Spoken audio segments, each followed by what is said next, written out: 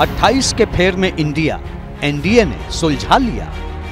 पहले से ही टिकट बंटवारे को लेकर उलझन थी। क्या अखिलेश ने और फंसा दिया? सवाल है कि जब अपनी ही पार्टी में खींचतान है तो अखिलेश यादव को सीट कहाँ से देंगे? एक पुरानी कहावत है कि गाँव बसाने लुटेरे पहले आ गए। इसी हालत में दोनों पार्टियों में, दोनों दलों में चल रहा है क्योंकि सत्ता की लालसा सबको है। तो ज़ाहिर तौर पर जब सत्ता की लालसा रहेगी तो खींचतान होना तो स्वाभाविक है। एनडीए में 260 सीटों पर सहमति होने की खबरें आ रही हैं।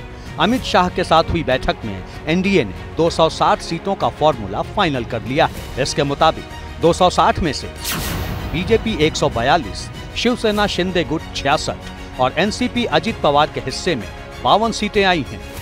बची हुई 28 सीटों पर आने वाले दो दिनों में अंतिम फैसला लिया जाएगा। जिसके बाद कुल सीटों में से बीजेपी 150 प्लस, शिवसेना शिंदे गुट 70 प्लस और एनसीपी अजित पवार को 60 प्लस सीटें मिल सकती हैं। लेकिन खबर है कि एक नाथ शिंदे 100 सीटों पर लड़ना चाहते हैं।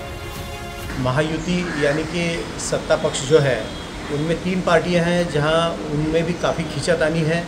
एक नाथ शिंदे शायद सौ के आसपास सीटें सीटें मांग चाहते हैं। और इसीलिए शायद उनके यहाँ भी सीटों का बंटवारा रुका हुआ है। भाजपा चाहती है कि डेढ़ सौ से आगे, यानी कि 160 के आसपास जगह उनको मिलनी चाहिए विधानसभा में।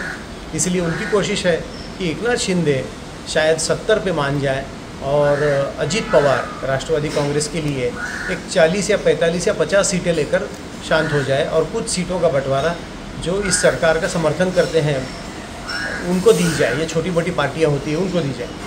फंसी हुई 28 सीटों में से ज़्यादातर सीटें मुंबई, मराठवाड़ा और पश्चिम महाराष्ट्र की हैं। मुंबई में मुख्यमंत्री एकनाथ शिंदे की शिवसेना 17 सीटों पर दावा कर रही, वही बीजेपी उन्हें 15 सीट देने पर राज़ी है। बीजेपी मुंबई में खुद 17 सीटों पर दावा कर रही है, वही अजीत पवार की राष्ट्रवादी कांग्रेस पार्टी चार सीटों पर दावा कर रही है। मराठवाड़ा के छियालीस सीटों में से ज़्यादा से ज़्यादा सीट अपने झोली में गिरे, इसके लिए शिवसेना का प्रयास जारी है।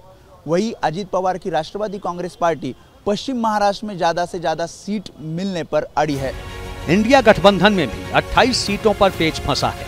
यहाँ 260 सीटों पर सहमति की बातें सामने आ रही हैं। झगड़े वाली जो 28 सीटें हैं, उनमें दक्षिण नागपुर, श्रीगोंदा, पारोला, हिंगोरानी मेरठ शिरडी, रामटेक सिंधफट राजा, दरियापुर, गेवराई, उदगीर, तुमसा, कोलाबा, भाईखला और वर्सोवा है। झगड़ा असल बात दो जगहों को लेकर है, एक मुंबई की सीटों को लेकर है, क्योंकि शिवसेना ज़्यादा से ज़्यादा सीट लड़ना चाहती है और कांग्रेस कम से कम चौदह सीट लड़ना चाहती है। तो अभी भी मुंबई की तीन से चार सीटों पर खींचतान है। दूसरा झगड़ा विदर्भ को लेकर है, क्योंकि कांग्रेस को लगता है चूँकि उनके लोकसभा में ज़्यादा कैंडिडेट जीत कर आए तो विदर्भ में ज़्यादा से ज़्यादा सीटें मिले।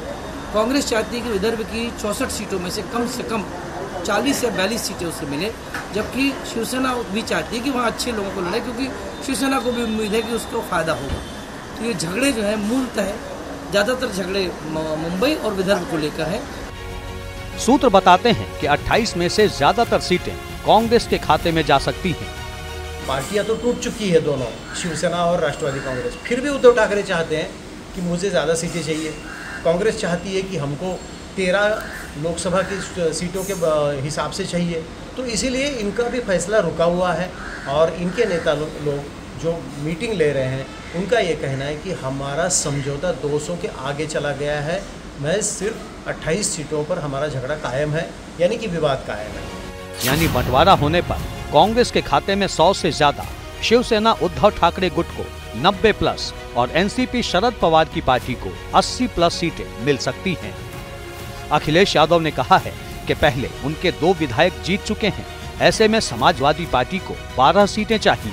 अखिलेश की डिमांड पर इंडिया गठबंधन क्या करता है, ये देखना होगा। फ़िलहाल खबर है कि सोमवार या मंगलवार को इंडिया और एनडीए गठबंधन 28 सीटों पर अंतिम समाधान निकाल लेंगे।